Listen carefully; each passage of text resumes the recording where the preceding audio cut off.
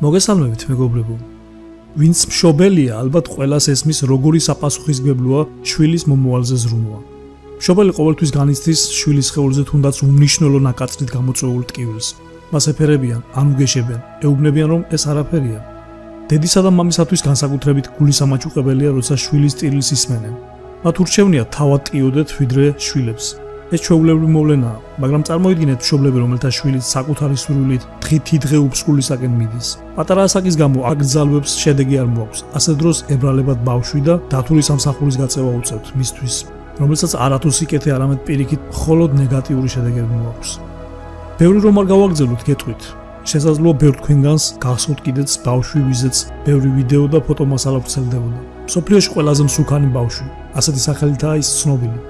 ვის სახელად არია პერმანა ჰქვია. ის 2006 წელს დაიბადა ინდონეზიის ერთ პატარა სოფელში.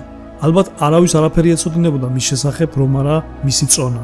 2014 წელს მისმა წონამ 192 კილოგრამს მიაღწია, რის გამოც გადაადგილების უნარი წაერთვა და ვეღარ შეძლო სკოლაში სიარული. ალბათ გაინტერესებთ როგორ მოხდა მისი ასეთი რომ იტყვიან გადაგვარება.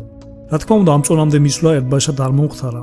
ეს დაახლოებით 2 წელი გრძელდებოდა. ამ პერიოდში მას საგანგაშო რომ იტყვიან მადა ჩამოუყალიბდა. შეეძლო შეეჭამა ყველაფერი რაც კი საკვებად გამოიყენებოდა, მაგრამ განსაკუთრებით დიდ სურვილს ძროხის ხორცის, თევზეულის და ტკბილეულობის მიმართ იჩენდა.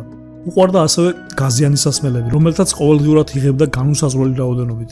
დედის თქმით ის დღეში 5-6ჯერ ჭამდა. მისი ულუფაკი 2, შეიძლება 3 მოზრდილი ადამიანის ულუფის ტოლფასი ყოფილიყო. რა თქმა უნდა, როცა უკვე საკმაოდ დაეთყო წონა, უგზალავდნენ ამგვარი რაოდენობით კვებას, მაგრამ მისი ტირილი წუწუნი და თხოვნა აიძულებდა დაეთმოთ მისთვის და მიეცათ უფლება როგორც უნდა და ისე ეკვება.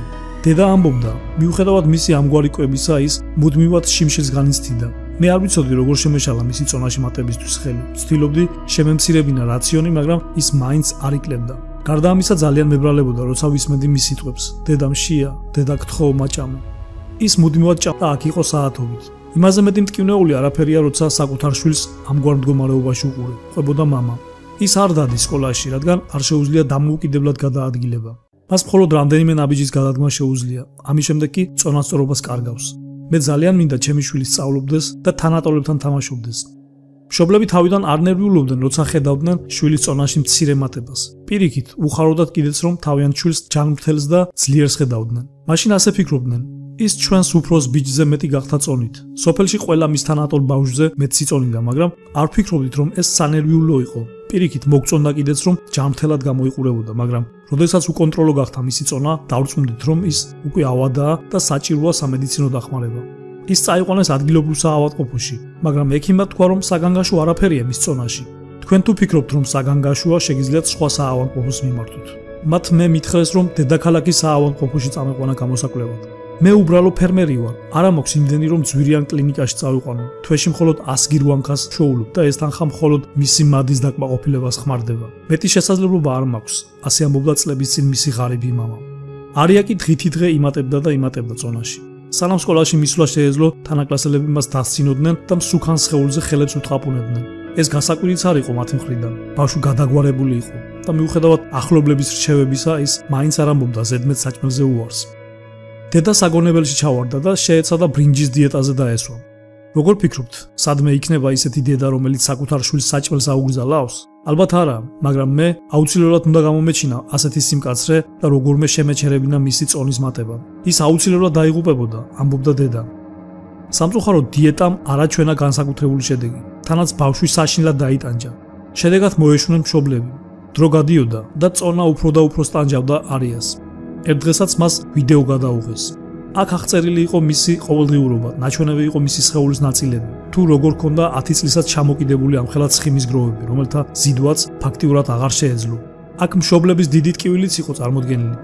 ვიდეო აიტვირთა და მალევე ვირუსულად გავრცელდა. ბევრი იწერებოდა, უმრავლესობა იცინოდა მასზე და დამცინავი სიტყვებით ამკობდნენ. თუმცა იყო ისეთებიც, რომელთაც ებრალებოდათ და სურვილს გამოთქვამდნენ, დახმარებოდნენ მას. შეიქმნა ფონდი, სადაც კეთილი ადამიანები რიცხავდნენ ფულს ბიჭის დასახმარებლად. გამოჩნდნენ ორგანიზაციები, რომლებმაც სპონსორობა იკისრეს. მალე მოიძებნა ექიმი, რომელმაც განაცხადა, რომ დაეხმარებოდა ბიჭს. მან პირველ ყოვლისა კაცრი დიეტა დაუნიშნა ბავშვს. მშობლები გააფრთხილა, რომ როგორმე უნდა დაერწმუნებინათ ბავშვი დიეტის აუცილებლობაში.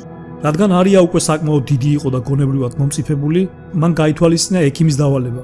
შეძლო გმირულად შეჭიდებოდა დიეტის საშინელ შეგრძნებებს. მან საბოლოოდ უარი თქვა საყვარელ ნუგბარზე და გაზიან სასმელზე. მიირთმევდა მხოლოდ იმას და იმ დოზით, როგორც ექიმმა დაუნიშნა.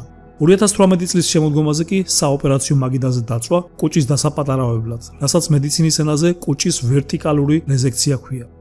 არიას გაუკეთეს ოპერაცია და რამდენიმე თვეში გამოიკვეთა რეზულტატი. მან 45 კილო დაიკლო. 2019 წლის აპრილში კი ბიჭი მხოლოდ და მხოლოდ 85 კილოგრამს იწონიდა. მან საერთო ჯამში 107 კილოგრამი დააგდო. წარმოუდგენელი არავინ ელოდა მის ასეთ შედეგს. ბიჭი, რომელიც დღის განმავლობაში კილოგრამობით პროდუქტს ანადგურებდა და ყველას წარმოუდგენლად მიაჩნდა, რომ ის გემრიელობებს ვერ დათმობდა, სწორედ ასეთი შედეგი აჩვენა. მისი მხრიდან ეს გმირობის ტოლფასი იყო. თუნდაც ეს ოპერაცია ქონდეს გაკეთებული, თუ ექიმის რჩევას არ გაითვალისწინებს, ადამიანის შესაძლოა კვლავ ძველ ფორმას დაუბრუნდეს.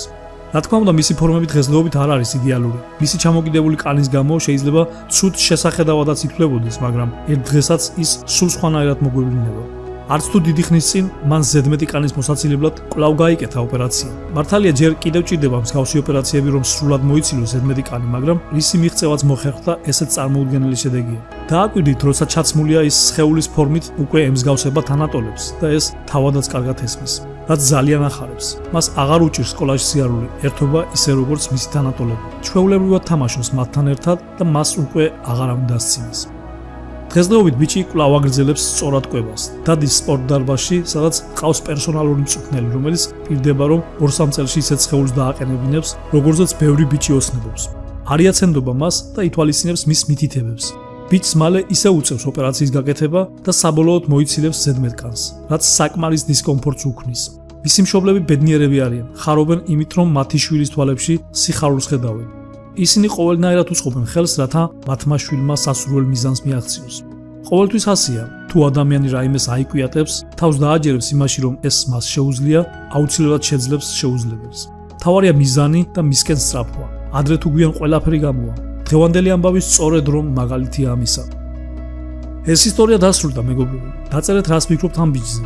საინტერესოა თქვენი აზრი. მოიწონეთ ვიდეო თუ საინტერესოდ მოგეჩვენათ, მე კი მომდენო ვიდეომდე გემშვიდობებით. ნახვამდის.